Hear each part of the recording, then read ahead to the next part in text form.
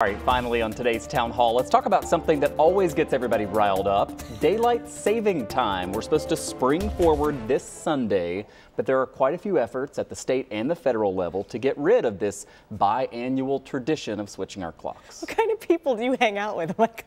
Oh well, anyway, just yesterday, a bipartisan group of eight U.S. senators introduced the Sunshine Protection Act of 2021, which would make daylight saving time permanent all year long. So at the state level, Assemblyman Angelo Morinello from Niagara Falls has led the effort to end the time change. He joins us live now. Thanks for being with us tonight.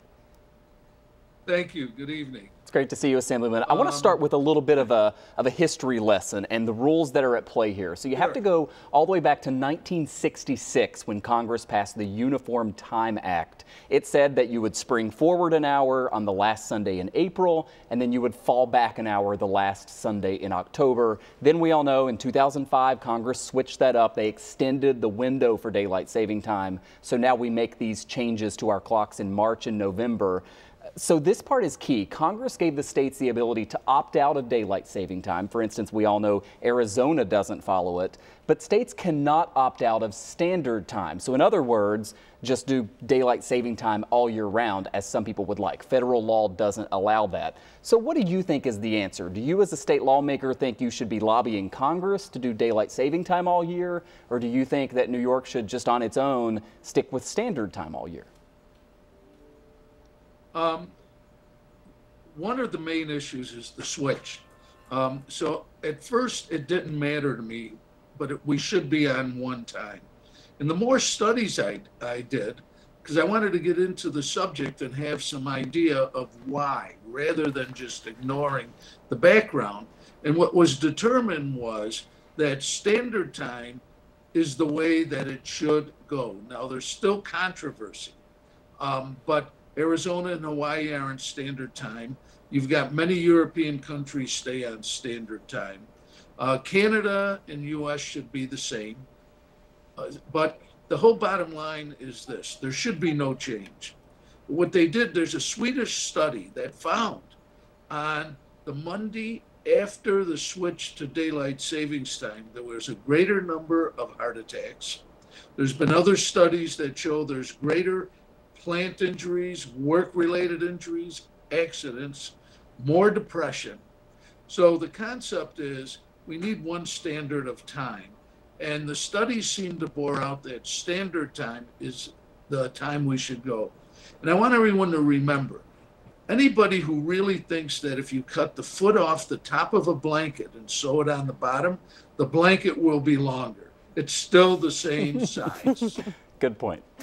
You know, in some states, including um, the West Coast states of Washington, Oregon, and California, they've all passed bills and ballot measures to try to get Congress to make a change. Do you think if enough states did that, that then maybe D.C. would listen? Well, what I've been told is a number of states are doing it. The, every year there's more. I get phone calls, and it's really interesting. I've gotten them from the press in Florida. I've gotten emails from California. I've got something from uh, Canada. I've get I've gotten them from the Midwest, and most of them support the concept of we should all be on standard time. If we went to daylight, what you're going to do is you're going to infringe upon Arizona, Hawaii, and the other areas, territories, and and um, countries that are on standard time. Arizona's never changed. Hawaii's never changed. So my feeling is we should go the same. But if I may, can I can I just give you a little caveat on how I got onto this? Sure.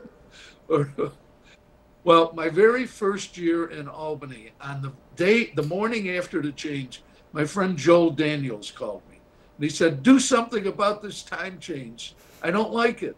And that's what got me started to research it. But then when I found the health problems, the accidents, it just seemed more logical that we should go forward with this. Um, Further, you mentioned the year that it was the standard time. There's so many theories on how this started, who did it, where was the first, uh, what was the reason.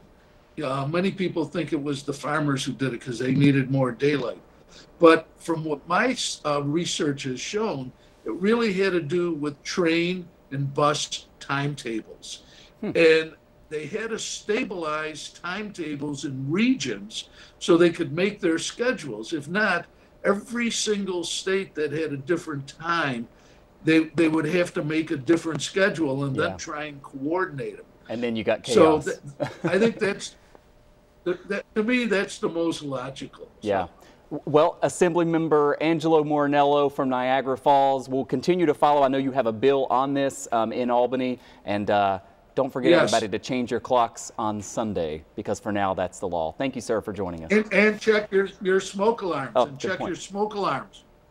Also okay? important. And, you know, Speaking of time, we're out of it. Thanks for watching, everybody. Remember to keep texting us your questions and comments to the number you see right there.